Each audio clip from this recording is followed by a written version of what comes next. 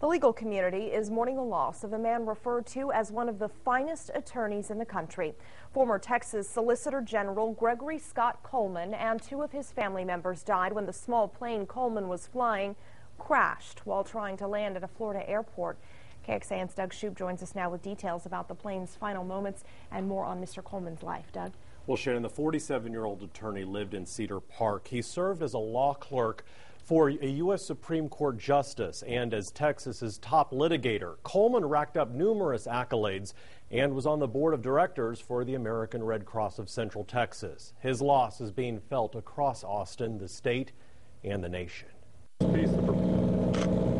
Gregory Coleman, his mother in law, and his wife's uncle were flying to the Florida panhandle for Thanksgiving when their single engine Piper Malibu went down in heavy fog on approach to the Destin airport Tuesday night. All three died in the crash. Uh, it's been hard to even think about you know what happens on Monday or the next day. Wednesday, crews pulled the wreckage from about five feet of water in the Choctawhatchee Bay, a little more than a mile from the runway. I never found a lawyer anywhere or one of his former clients anywhere who said anything less than he was one of the finest attorneys they'd ever met. In private practice, Coleman won a handful of cases before the U.S. Supreme Court. He was most recently a partner at Austin's Yetter Coleman Appellate Law Firm. In 1999, he was hired by then Texas Attorney General John Cornyn to be the state's first Solicitor General. Before that, he clerked for Supreme Court Justice Clarence Thomas and the U.S. Court of Appeals Fifth Circuit. Coleman graduated from A&M before receiving a law degree from UT in 1992.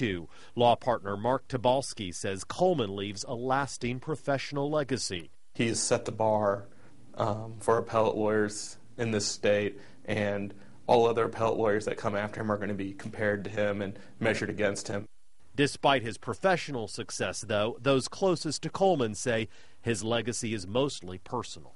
Greg would want to be remembered um, about how much he uh, loved his family and his children. Um, and beyond that, just was just a, his tireless generosity and uh, willingness to help those um, his friends and those throughout the community.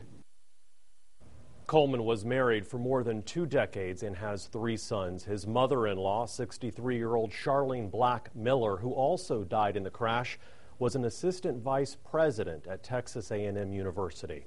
And Shannon, the National Transportation Safety Board is still investigating this crash. Our thoughts are with the Coleman family tonight, Doug. Yes, Thank you.